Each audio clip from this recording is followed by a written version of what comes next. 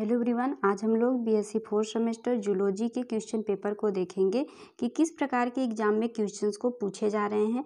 तो चलिए देख लेते हैं। हमारा सबसे पहला क्वेश्चन दिया गया है what is the total angle at the centre of pie chart pie chart के केंद्रक में कुल कोड क्या है? ठीक है, कितने एंगल का कोड उसमें बनता है? तो वह हमारा 360 एंगल का कोड बनता है। तो इसका ऑप्शन नंबर फ़र्स्ट जो है वह सही है। एंड सेकेंड क्वेश्चन देखिए, सेकेंड क्वेश्चन में पूछा गया है, in a cumulative frequency distribution the last class will always have a cumulative frequency equal to एक संचाई आवृत्ति वितरण में अंतिम वर्ग में हमेशा एक संचाई आवृत्ति समान होगी। इसका ऑप्शन में हमारा जो है ऑप्शन नंबर सेकंड सही होता है। The total number of element in data set ठीक है डेटा सेट में तत्वों की कुल संख्या जो होती है वह तो इसका ऑप्शन नंबर सेकंड जो है, वह सही होता है। नेक्स्ट क्वेश्चन देखिए नेक्स्ट क्वेश्चन हमारा पूछा गया है the most common graphical presentation of quantitative data is मात्रात्मक डाटा की आम ग्राफिकल प्रस्तुति क्या है? तो इसका जो है ऑप्शन नंबर फ़र्स्ट जो है हिस्टोग्राम, ये सही होता है। नेक्स्ट क्वेश्चन देखिए, क्वेश्चन नंबर फोर जिसमें पूछा गया है to calculate the median all the items of series have to the arrange in on ठीक है।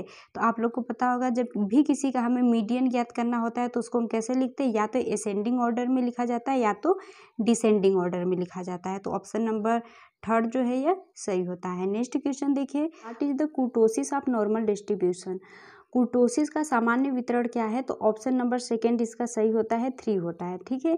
कुर्टोसिस का सामान्य वितरण कितना होता है? तीन होता है। नेक्स्ट क्वेश्चन देखिए find out the standard deviation आप।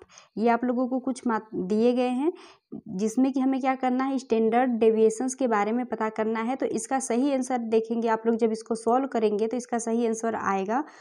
Four point six zero four. ठीक है? तो ऑप्शन में ये दिया नहीं गया है तो या तो ये हो सकता है या फिर इसका नॉन ऑफ़ दीज हो सकता है। ठीक है? अब यूनिवर्सिटी के ऊपर है कि वह किस आंसर को मानता है। एंड नेक्स्ट क्वेश्चन देखिए हमारा क्वेश्चन नंबर सेवन जिसमें दिया गया है the sum of twenty value of three hundred then means of the data is यदि बीस आंकड़ों का योग तीन सौ है तो आंकड़ों का माध्य क्या होगा? तो इसका जो है ऑप्शन नंबर थर्ड सही होता है, थर्टी होगा। ठीक है, नेक्स्ट क्वेश्चन देखिए, नेक्स्ट क्वेश्चन पूछा गया है chi square test is always use to test chi square test जो होता है, किसके यूज़ में किया जाता है तो इसका भी आंसर पता नहीं है।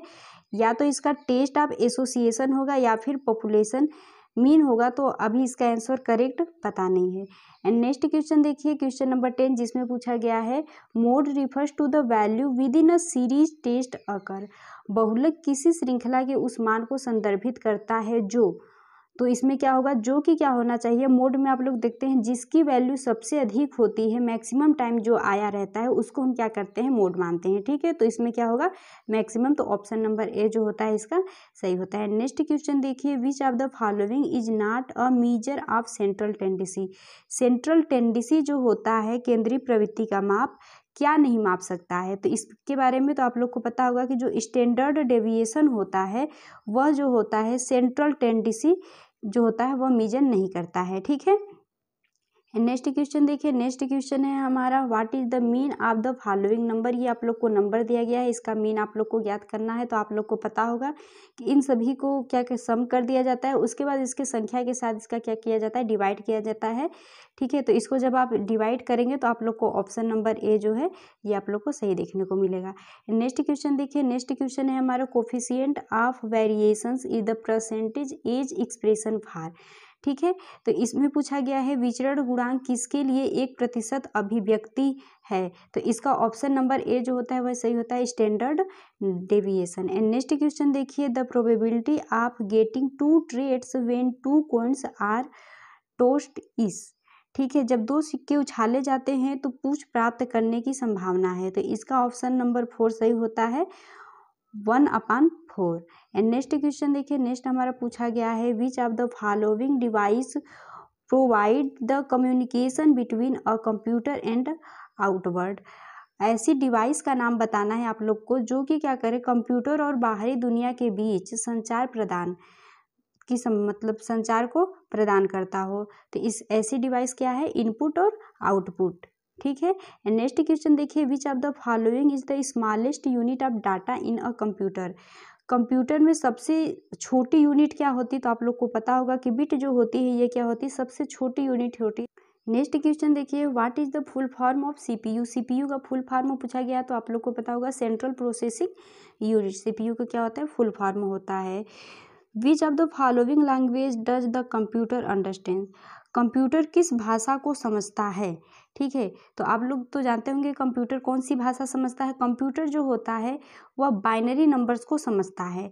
ठीक है? तो इसका ऑप्शन कौन सा सही होगा? देखिए जहाँ पे बाइनरी नंबर हो, ऑप्शन नंबर थर्ड देखिए, computer understand only binary language. And next question देखिए, नेक्स्ट क्वेश्चन हमारा पूछा गया है, is a network in which the computer are connected directly, usually by some type of, केवल एक नेटवर्क है जिसमें कंप्यूटर सीधे जुड़े होते हैं। आमतौर पर किसी प्रकार के केबल द्वारा। तो इसका सही आंसर क्या होगा?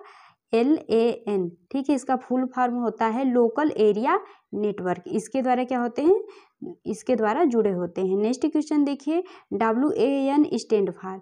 इसमें आप लोग को डब्ल्यू ए एन का क्या पूछा है? फुल फॉर्म पूछा है तो इसका फुल फॉर्म होता है wide area network. Next question देखिए, नेक्स्ट क्वेश्चन पूछा गया है। Once the email is sent the message is broken into pieces called. जब भी किसी भी ईमेल को भेजा जाता है तो वह मैसेज जो होते हैं वे टुकड़ों में टूट जाते हैं तो उसको क्या कहा जाता है? तो उसको कहा जाता है पॉकेट्स कहे जाते हैं, ठीक है? नेक्स्ट क्वेश्चन है which of the following protocols is use for W W W तो कौन सा प्रोटोकॉल डब्ल्यू डब्ल्यू के लिए उपयोग किया जाता है? ठीक है तो एच टी टी पी ये एक ऐसा प्रोटोकॉल होता है जो कि क्या करता है? ट्रांसमिट करता है आल डाटा को present on the world wide web में। ठीक है, एंड नेक्स्ट क्वेश्चन देखिए, नेक्स्ट क्वेश्चन है हमारा H T M L stand for. H T M L का आप लोगों को फुल फॉर्म पूछा है तो इसमें देखेंगे तो हाइपर टेस्ट मार्कअप लैंग्वेज, ये जो सेकेंड ऑप्शन है, ये सही होता है। हाइपर टेस्ट मार्कअप लैंग्वेज, ठीक है? और नेक्स्ट क्वेश्चन देखिए, यहाँ पे देखिए आप लोग को कैपिटल डब्ल्यू डब्ल्यू डब्ल्यू का फुल फॉर्म पूछा है इसका फुल फॉर्म क्या होगा? तो इसका होगा वर्ल्ड वाइड वेब इसका ऑप्शन नंबर थर्ड जो है वो सही होता है, ठीक है? नेक्स्ट क्वेश्चन देखिए IP stand for.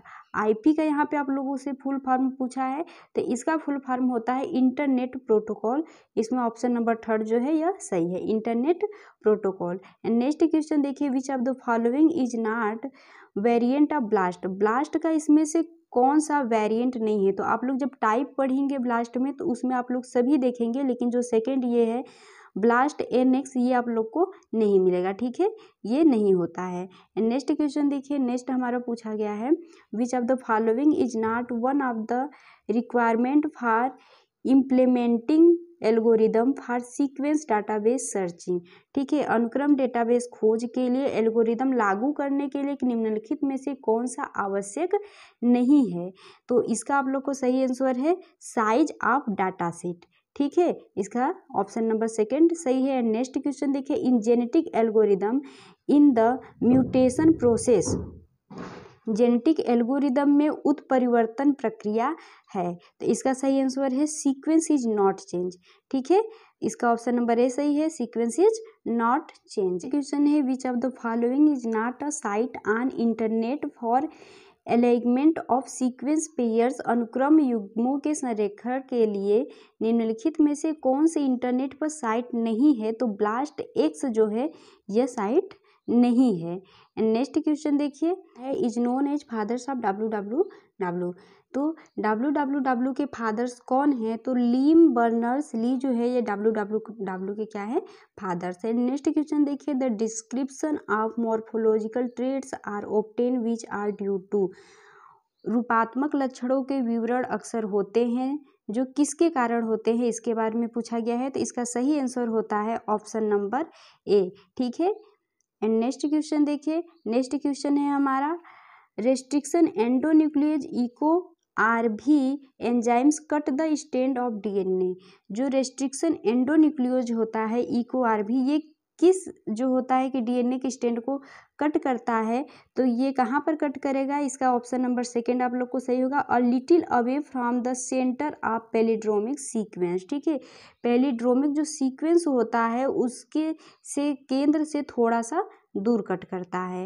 And next question देखिए BT cotton is a GM crop जो होता है जेनेटिकली मॉडिफाइड क्रॉप है, जो भी कॉटन है, ठीक है? इट इज़ रेजिस्टेंस अगेन ये किसके अगेंस्ट रेजिस्ट करता है? तो किसके अगेंस्ट इसको बनाया गया था? तो यह पेस्ट इंसेक्ट के अगेंस्ट क्या किया गया था? बनाया गया था। तो इसका ऑप्शन नंबर सेकेंड सही है।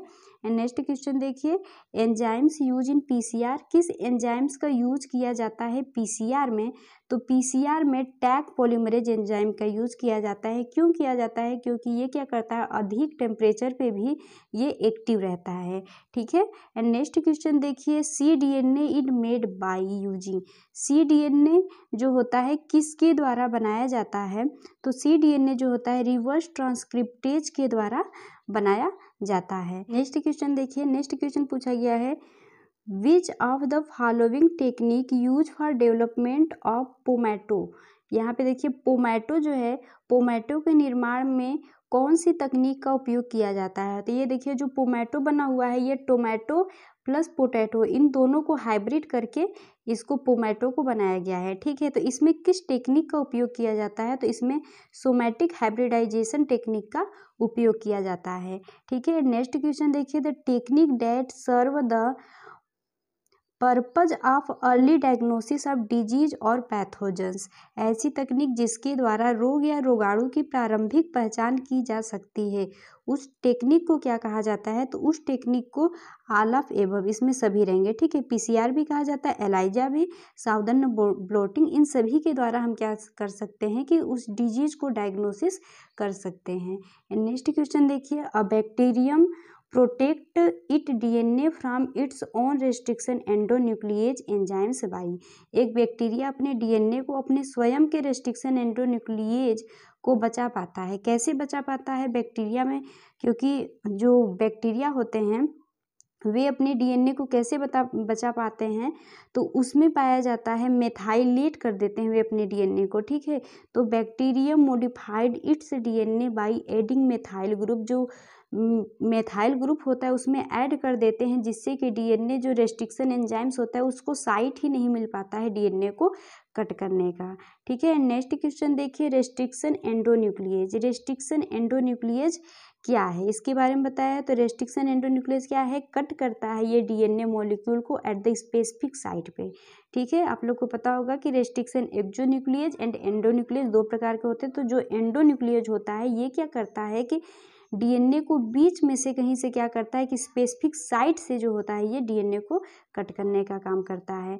एंड नेक्स्ट क्वेश्चन देखिए which of the following is not features of cloning vectors cloning vectors का फीचर्स नहीं है, ठीक है? इसमें सबसे पहला दिया गया है process of O R I site ये होना चाहिए और प्रेजेंस जो होता है ओ आर आई साइट का होना चाहिए और क्लोनिंग वेक्टर साइट का भी, ये भी होना चाहिए and presence of selectable markers gene ये भी होना चाहिए। तो इसमें क्या नहीं होना चाहिए तो इसमें है presence of highly repetitive DNA ये होने की कोई आवश्यकता नहीं है। ठीक है नेक्स्ट क्वेश्चन देखिए the separated band of DNA are cut out from the agarose gel and extracted from the gel pieces this process is called इस प्रोसेस को क्या कहा जाता है? तो इस प्रोसेस को कहा जाता है इलूसन ठीक है? इस प्रोसेस को कहा जाता है इलूसन एंड नेक्स्ट देखिए नेक्स्ट क्वेश्चन बोला गया है द एगारोस जेल इलेक्ट्रोफोरेसिस जो एगारोस जेल इलेक्ट्रोफोरेसिस होता है इसमें क्या किया जाता है? तो इसमें आप लोग को पता होगा कि एगारोस जेल इलेक्ट्रोफोरेसिस में हम इथीडियम ब्रोमाइड का भी यूज़ करते हैं, जिससे कि क्या हो सके, जो डीएनए के छोटे छोटे टुकड़े होते हैं, वे हमें क्या हो सके, विजुअलाइज हो सके। ठीक है, इसके लिए हम क्या करते हैं, इथीडियम ब्रोमाइड का भी यूज़ करते हैं। तो ये हमारा सही आंसर होता है कि डीएनए खंडों को देखने हेतु इथीडियम ब्रोमाइड का उपयोग किया जाता है। ठीक है, क्वेश्चन बोला गया है, golden rice is promoting transgenic crop में released for cultivation, it will help. जो सुनहरा चावल है, एक बहुत ही संभावनापूर्वक पार्जेनी फ़सल है। कृषि में उतारने पे ये किस चीज़ में सहायक होगी? तो गोल्डन राइस किस लिए बनाया गया था ताकि जिन भी व्यक्तियों में विटामिन ए की कमी है, उसकी क्या हो सके? पूर्ति हो सके। ठीक है? तो alleviation of vitamin A deficiency. And next question देखिए, नेक्स्ट क्वेश्चन बताया गया है।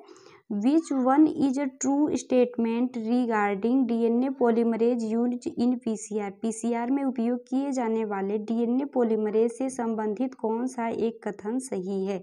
ठीक है? तो पीसीआर में हम क्या करते हैं? It remain active at high temperature ठीक है? क्योंकि पीसीआर में हम टैग पोलीमरेज का यूज़ करते हैं तो उसका यूज़ हम क्यों करते हैं? ताकि वे हाई टेम्परेचर पे भी एक्टिव रह सके, ठीक है? और टैग पोलीमरेज के अलावा हम पी एफ़ यू पोलीमरेज का भी यूज़ कर सकते हैं।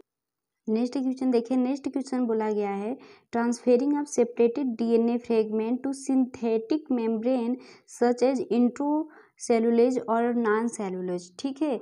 तो जो हम डीएनए पे क्या करते हैं कि जब उसका सेपरेशन करते हैं तो हम उसको क्या करते हैं कि नाइट्रोसेलुलोज मेम्ब्रेन पे क्या करते हैं, सेपरेट करते हैं, ठीक है? उसके ऊपर रखते हैं। तो ये जो प्रक्रिया होती है इसको क्या कहा जाता है? तो इसमें हम देखते हैं, किसमें देखते हैं? नाउदर्न एंड साउदर्न दोनों में देखने को मिलता है, पर स्पेशली आप इसका क्या लगाएँगे? साउदर्न ब्लोटिंग, ठीक है? क्योंकि ये मेन रूप से साउदर्न ब्लोटिंग में देखने को मिलता है। एंड नेक्स्ट देखिए, हमारा फ़र्स्ट ट्रांसजेनिक एनिमल वाज सबसे पहला ट्रांसजेनिक एनिमल्स क्या है? तो सबसे पहला ट्रांसजेनिक एनिमल है सुपर माउस, ठीक है? माउस को सबसे पहले बनाया गया था। एंड नेक्स्ट देखिए, नेक्स्ट है हमारा genetically engineering bacteria have been use in commercial production अब जेनेटिकली इंजीनियरिंग में हम बैक्टीरिया का यूज़ किसके प्रोडक्शन में सबसे ज़्यादा करते हैं? ठीक है, व्यावसायिक उत्पादन के रूप में। तो आप लोग को पता होगा कि ह्यूमन जो इंसुलिन होता है, इसका उपयोग हम सबसे ज़्यादा करते हैं। देखिए important objective of biotechnology in agriculture section is biotechnology जो होता है, कृषि अनुभाग में जैव प्रौद्योगिकी का महत्वपूर्ण उद्देश्य क्या है? तो इसका उद्देश्य क्या होता है कि प्रोड्यूस पेस्ट रेजिस्टेंस वेराइटी या प्लांट कि पेस्ट रेजिस्टेंस वेराइटी हम प्लांट के लाएँ, जिससे कि क्या हो, उस पर पे पेस्ट न लग सके और उत्पादन जो हो सके, वह अधिक से अधिक हो सके। नेक्स्ट क्वेश्चन देखिए which of the following is the most common source of S C P S C P का फुल फॉर्म क्या होता है? सिंगल सेल प्रोटीन, ठीक है? तो जो सिंगल सेल प्रोटीन होता है, ये सबसे ज़्यादा किससे प्राप्त किया जाता है? तो सबसे ज़्यादा ये ईस्ट से प्राप्त किया जाता है, ठीक है? वो भी सिंगल सेल ईस्ट के द्वारा इसको प्राप्त किया जाता है। नेक्स्ट क्वेश्चन देखिए। नेक्स्ट क्वेश्चन पूछा गया है which one of the following is a bio micro array device इसमें से बायो माइक्रो एरे डिवाइस है। तो जो बायो चिप्स होता है, ये क्या होता है? बायो माइक्रो एरे डिवाइस होता है, ठीक है? नेक्स्ट क्वेश्चन देखिए the process of expression of foreign genes in plant is called किसी भी पौधे में विदेशी जीन की अभिव्यक्ति की प्रक्रिया को कहा जाता है तो जब हम क्या करते हैं, विदेशी जीन को उसमें हम किसी भी प्लांट्स में जब इंजेक्ट करते हैं तो इस प्रक्रिया को क्या कहते हैं, क्योंकि उसके हम जेनेटिक में इधर उधर कर रहे हैं तो उसको हम कहते हैं जेनेटिक ट्रांसफॉर्मेशन कहते हैं। ठीक है नेक्स्ट क्वेश्चन देखिए नेक्स्ट क्वेश्चन बताया गया है which of the following is supplemented with vitamin A in order to improve its nutrient quality ठीक है तो इसमें से जो है, किसकी पोषण गुणवत्ता में सुधार के लिए विटामिन ए की पूर्ति की जाती है? तो हमने इससे पहले आप बताया कि गोल्डन राइस, ठीक है? गोल्डन राइस को इसीलिए बनाया गया था ताकि जो विटामिन ए की डिफिशियंसी है लोगों में, वो क्या हो सके? पूरा हो सके। एंड नेक्स्ट क्वेश्चन देखिए the branch of side that deal with growing plants and raising livestock for humans use is. विज्ञान की वह शाखा जो मानव उपयोग के लिए पौधे उगाने और पशुधन पालने से संबंधित है, इसको क्या कहते हैं? उसको कहा जाता है एग्रीकल्चर देखिए नेक्स्ट क्वेश्चन पूछा गया है। The first drug producing using recombinant DNA technology is use to treat ठीक है पुनर्संयोजन डीएनए प्रौद्योगिकी का उपयोग करके उत्पादित पहली दवा, जो रिकॉम्बिनेंट डीएनए टेक्नोलॉजी है, इसका उपयोग करके हम लोग जो सबसे पहला ड्रग्स बनाए हैं पहली दवा जो बनाया गया है, वह किसके उपचार के लिए किया जाता है? तो वह डायबिटीज़ के उपचार के लिए सबसे पहली जो दवा बनाई गई थी, वह किसके उपचार के लिए? डायबिटीज़ के उपचार के लिए बनाई गई थी। एंड नेक्स्ट क्वेश्चन देखिए vaccination was invented by vaccination की जो खोज है ये किसने किया था? तो इसके बारे में तो वैक्सीनेशन की खोज इडवार्ड जेनर जो थे, इन्होंने क्या किया था? वैक्सीनेशन की खोज की थी। ठीक है तो ऑप्शन नंबर ए इसका सही होता है। नेक्स्ट क्वेश्चन देखिए according to national immunization schedule which vaccine is schedules to be given to ten से सिक्सटीन ईयर्स एज, ठीक है? राष्ट्रीय टीकाकरण अनुसूची के अनुसार दस से सोलह वर्ष की आयु में कौन सा टीका दिया जाना निर्धारित है? ठीक है? तो इसमें जो टीटी का टीका होता है, ये जो होता है दस से सोलह वर्ष की आयु में दिया जाता है, ठीक है? नेक्स्ट क्वेश्चन देखिए an examples for a passive vaccine is. Passive vaccine के एग्जांपल्स क्या है? तो हिपेटाइटिस बी जो है, ये एग्जांपल्स किसका है? पैसिव वैक्सीन का। नेक्स्ट क्वेश्चन पूछा गया है which of the following is not an examples of type first hypersensitivity reaction hypersensitivity reaction जो टाइप फ़र्स्ट का होता है, उसका इसमें से कौन सा एग्जाम्पल्स नहीं है, ये पूछा है। तो इसमें जो होता है सिस्टमिक ल्यूपस एरिथेमेटो एरिथे मेटोसस ठीक है, ये क्या है इसका एग्जाम्पल्स नहीं है। क्वेश्चन पूछा गया है which of the following sets include all type of T cells इसमें से कौन सा ऐसा सेट है, ठीक है, जिसमें कि टी सेल्स के सभी प्रकार के जो सेल्स है, वे पाए जाते हैं। तो आप लोग को पता होगा टी सेल्स जो होता है कौन कौन से सेल्स को बनाता है तो वो किलर सेल्स को बनाता है हेल्पर सेल्स को बनाता है suppressor cells and memory cells ये चार प्रकार के सेल्स को जो होता है वह टी सेल्स बनाने का काम करता है। नेक्स्ट क्वेश्चन देखिए, आगे है how can organs transplantation rejections rejections be prevented. ठीक है अंग प्रत्यारोपण अस्वीकृति को कैसे रोका जा सकता है? तो इसको कैसे रोकेंगे? जब भी किसी में अंग प्रत्यारोपण होता है, किसी में जैसे यदि किसी का भी किडनी खराब हो गया तो उसको दूसरे का किडनी दिया जाता है तो ये अंग प्रत्यारोपण होता है। तो इसमें क्या होता है कि इम्यूनो सुप्रेसेंट ड्रग्स जो होता है, उसको लेनी पड़ती है। जो दवाएँ हैं ये, उसको लेना पड़ता है, ताकि जो उसका अंग है, दूसरे का ऑर्गन्स उसके में लगाया गया है, उसको बॉडी रिजेक्ट न कर दे। नेक्स्ट क्वेश्चन पूछा गया है। What is the name of M S C in human human में एम एस सी का क्या नाम है? तो ह्यूमन में एम एस सी का नाम होता है एच एल ए ठीक है? एंड अगर आप लोग को ये वीडियो अच्छा लगा होगा तो वीडियो को लाइक कर दीजिएगा और चैनल को सब्सक्राइब कर दीजिएगा और कमेंट बॉक्स में कमेंट कर दीजिएगा जिस भी टॉपिक से आप लोगों को वीडियो चाहिए।